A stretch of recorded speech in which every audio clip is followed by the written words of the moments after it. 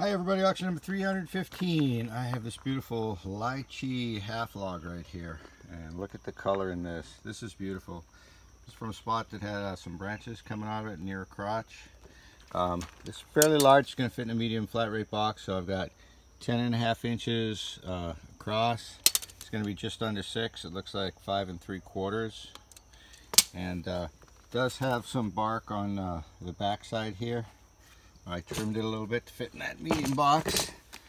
Uh, but look at the color in that. So you can see eight and a half inches by ten and a half, and then of course six inches. Uh, here's the other side real quick. Very nice, lots of color in that. That's a gorgeous log. Nice heavy piece of wood too. Somewhere between 15 and 20 pounds. Uh, that's um, auction number 315.